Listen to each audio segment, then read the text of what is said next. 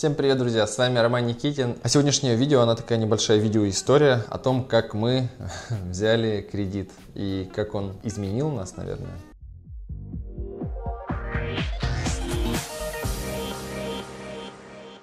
И это была довольно, правда, необычная история. Почему я сейчас о ней вспомнил? Потому что мы сейчас в рамках своего Евро тура, так скажем, с Алексеем э, доезжаем до Швейцарии, столицы всех банков, я думаю, что вот как раз-таки мы начали вспоминать про наш самый первый кредит, эту смешную историю, и она была очень, правда, нелепой. На тот момент, когда мы только-только открывали наше первое заведение, Бейкер-стрит, это тайм-кофейня, антикафе, а, нам примерно понадобилось бы на него, на открытие 400-450 тысяч рублей. На тот момент у Алексея у меня а, присутствовали деньги, но они были настолько глубоко заморожены в других проектах, что вытянуть оттуда их было практически нереально, или для этого надо было очень сильно напрягаться. И мы поняли, поняли, что нам надо взять кредиты. Мы пришли в банки, но я уже был на тот момент закредитован. Было немножко проблемно, там лишние 200 тысяч, это мне обещали, что будут пересматривать какие-то мои проценты по другим кредитам, поэтому я решил, что нет, это не обо мне история. У Алексея была какая-то подобная ситуация, у него не получалось получить обычный адекватный кредит, да и на самом деле на тот момент получить какой-то дополнительный кредит в нашем возрасте было очень сложно, и у меня уже и так там один был. Вышло так, что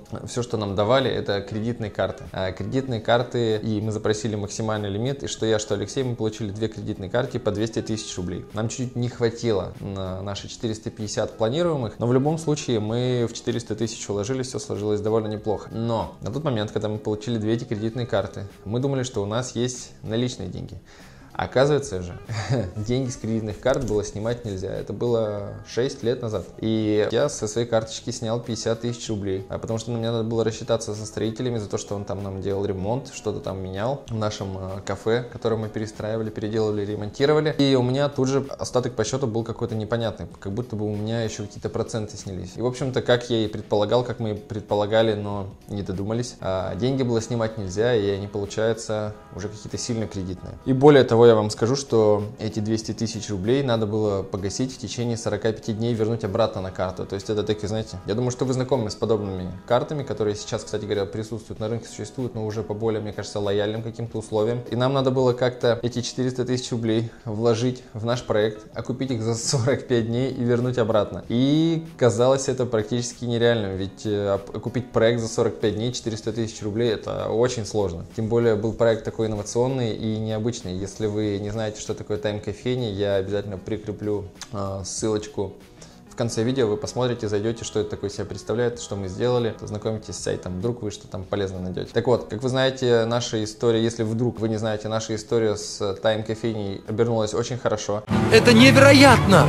Мы, правда, подняли очень хорошие деньги. К сожалению, мы не успели окупить деньги за 45 дней и чуть-чуть вернули процентов, но в любом случае мы очень хорошо и быстро окупили этот проект. Конечно же, мы очень долго ругались с Алексеем из-за того, что вот такой вот кредит мы проворонили и получили процент, и вообще как-то все очень глупо вышло, потому что нам никто кредит не давал. Но опять же мы поняли, что если бы не эти карты, вообще непонятно бы, где это все было, как они нас тогда спасли, и где мы находимся сейчас, и где были тогда. И может быть мы, если бы их тогда не получили, и сейчас бы не находились там, где находимся, не имели бы то, что имеем сейчас. Лучше и не скажет. Поэтому это такая немножко философия, но в любом случае они очень сильно поменяли наши жизни и сыграли какую-то очень положительную роль. И мне очень часто задают вопросы о том, стоит ли брать кредит, стоит ли кредитные карты в бизнесе и перспективы вхождения в бизнес. И я всегда рассказываю, что я считаю, что идеальным это когда у тебя есть 50% своих и 50% кредитных на проект, который ты собираешься открывать. И это максимум, сколько можно кредитных денег привлекать. Если это мы говорим о вашем первом проекте, если это ваш первый бизнес-проект, а вы не, там, к примеру, не, не какой-то профи, который открывает бизнес за бизнесом. Если это ваш первый проект, постарайтесь сделать так, чтобы это было 50 на 50. 50 своих денег, 50 кредитных денег. Может быть, с партнером как-то вы или еще как-то зайдете. Но вот примерно такого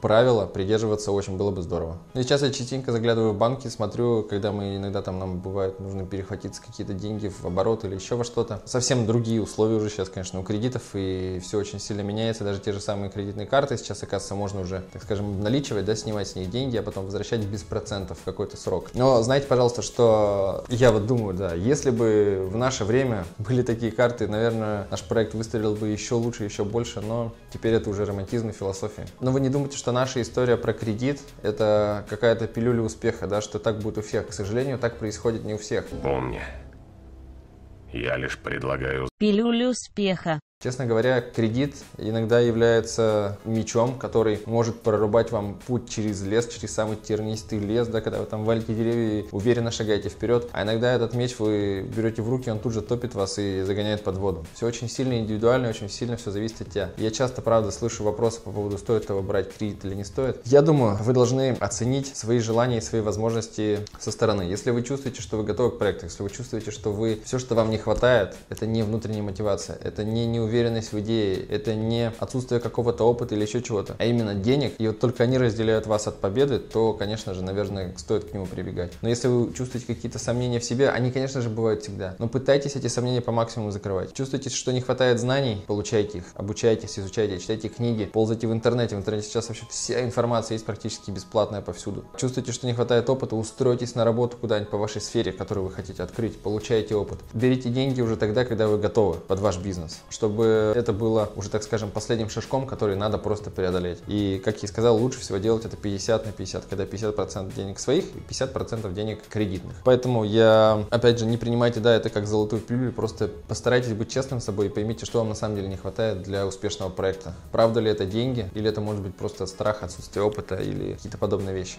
Ну и на самом деле порой кредит мотивирует вас зарабатывать куда больше, чем вас мотивирует зарабатывать все ваши желания и мечты. И он является как раз таким отличным мотиватором для вашего заработка в принципе. Кредитный путь это однозначно лучший путь, чем складывать ваши денежки в копилочку и сидеть, вынашивать вашу идею до того момента, когда она вообще в принципе станет уже не актуальной, не интересной, или же в вашем городе ее уже кто-то откроет. Поэтому тут тоже очень двояко и тонко, и надо это очень разобраться в этом и понять. я искренне желаю вам успехов в вашем бизнесе, в ваших начинаниях, и даже если вы будете собираетесь получать кредит, удачи в получении кредита, потому что, правда, кому-то он прорубают успешное будущее, а кого-то топит. Просто будьте аккуратнее и постарайтесь взвешивать все плюсы и минусы уже заранее. В нашей ситуации, в нашей истории никак без, без кредита мы не начали. Но у нас не было другого пути. Я надеюсь, что если вы будете получать кредит сами в данный момент, то у вас будет такая же классная история, как и у нас. Я скрещу за это пальцы и надеюсь, вы подчеркиваете что-то полезное и хорошее для себя. Если это так, если вы уже что-то для себя когда-то подчеркивали из моих видео, поставьте, пожалуйста, лайк этому видео, подпишитесь на канал,